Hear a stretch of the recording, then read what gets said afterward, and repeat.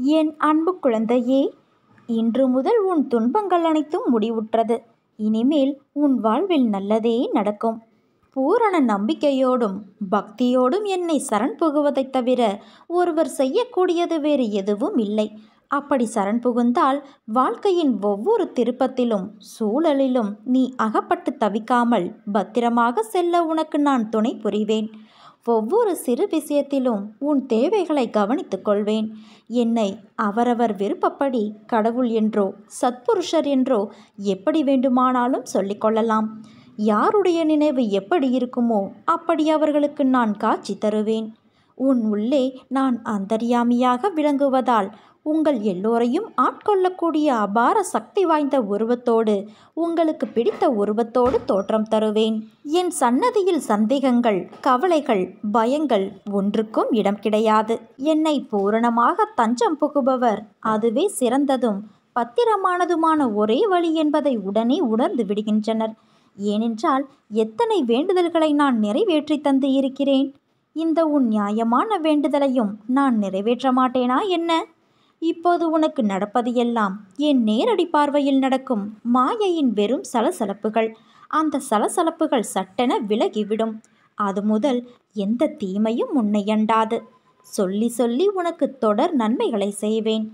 விரைவில் நீ அடையப் போகும் அந்த நிலையான மகிழ்ச்சியை கொண்டாட தயாராக இரு. நானே உன்னை என் கைகளில் தாங்கி செல்கிறேன். உனது எண்ணங்களும் விடாப்பிடியான கருத்துக்களும் உனது கவலைகளும் உன்னை நீயே காப்பாற்றிக் கொள்ளலாம் என்னும் நினைப்பும் தான் உன்னை தடுமாற செய்கின்றது.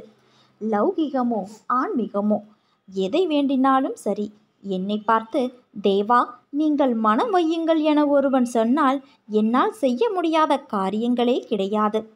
அவன் தனது கண்களை மூடிக்கொண்டு நிம்மதியாக உறங்கலாம். என் மீது முழுமையாக நம்பி வேண்டினால் மட்டுமே உனக்கு வேண்டியதையெல்லாம் நிறைய கிடைக்கும். உனக்கு வலிக்கும்போது உனது விருப்பத்திற்கு தக்கவாறு மட்டுமே நான் அதில் ஈடுபட வேண்டுமென நீ நினைக்கின்றாய். என்னை நம்பாமல் உனது தேவைக்கு நான் வளைந்து கொடுக்க வேண்டும் என எண்ணுகிறாய். நோய்வாய்ப்பட்டிருக்கும் போது ஒரு மருத்துவரிடம் தனக்கு வேண்டியவாறு சிகிச்சை அளிக்கும்படி கேட்கும் நோயாளியைப் போல இருக்காதே. அப்படி இல்லாமல் கஷ்டமான நேரங்களில் கூட தேவா இந்த பிரச்சனையை தந்ததற்காக உன்னை வாழ்த்தி வணங்குகிறேன். நீ விரும்பும் வண்ணம் இதற்கான தீர்வை இந்த துயர் மிகுந்த தற்காலிக வாழ்வில் நீ அளிக்க வேண்டும் என வேண்டுகிறேன். எனக்கு எது நல்லது என உனக்கே தெரியும் என வேண்டு. ஒரு சில நேரங்களில் கஷ்டங்கள் குறைவதற்கு பதிலாக அதிகமாகுவதாக உணரும்போது அதற்காக பதட்டப்படாமல் கண்களை மூடிக்கொண்டு தேவா உனது விருப்பமே நிகழும். நீயே அதை எண்ணுவாயாக என பிரார்த்தனை செய். அப்படி நீ செய்யும்போது தேவையான நேரத்தில் ஒரு அதிசயத்தை நான் நிகழ்த்தி காட்டுவேன். என்னை நீ முழுமையாக நம்பினால் மட்டுமே நான் அப்படி நினைப்பேன். நான் எப்போதும் நினைத்து கொண்டே இருப்பேன். உன்னை என் கண்களில் வைத்து காப்பேனேன் தங்கமே.